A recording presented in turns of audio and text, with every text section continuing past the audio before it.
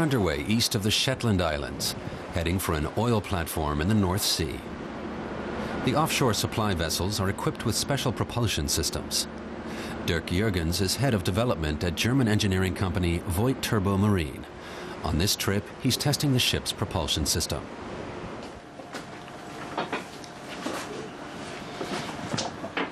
Jurgens tells us about the new system, which is unique for a ship this size.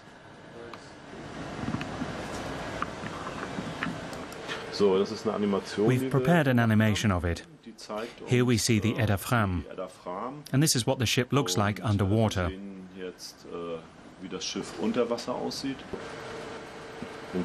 Now we see the secret of the ship. These are the two Voith Schneider propellers with their very long blades. They're three meters long. That's what drives the ship.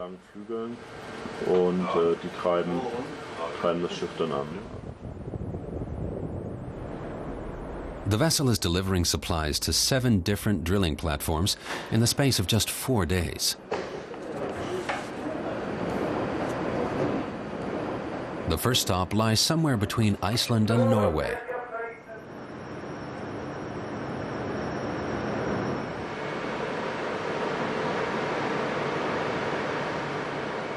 The weather is remarkably good for this time of year.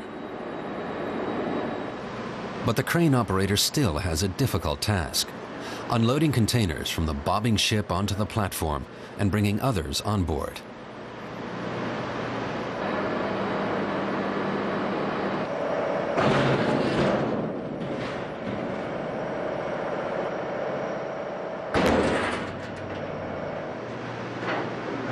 The propellers are designed to keep the ship steady even in rough water. We call this roll stabilization. We adjust the drive to reduce the rolling motion and stabilize the ship. This is a recent invention. Only a Voith Schneider propeller allows the ship to hold its position dynamically and minimize the rolling motion. No other drive performs like this. At 2 million euros, the propulsion system is twice as expensive as conventional propellers. But it makes the ship considerably more maneuverable and lowers fuel costs. So far, all the measurements are looking good. Now that night has fallen, it's time for a special test.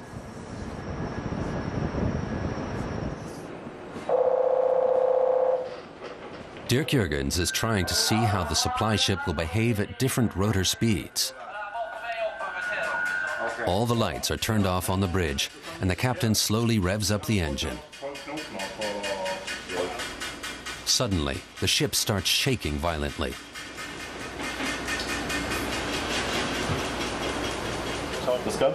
The entire ship is dipping back and forth, kind of like this. My pen is the deckhouse. It swings up and down like crazy. Up here, we're better than any sensor. The term experts use to describe the phenomenon is natural resonance.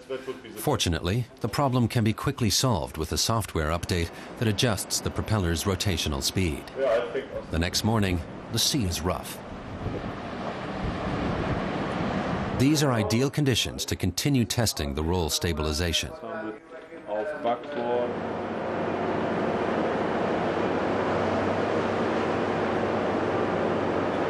Slight adjustment to the propeller's direction of thrust, and suddenly the ship sits quite still on the water.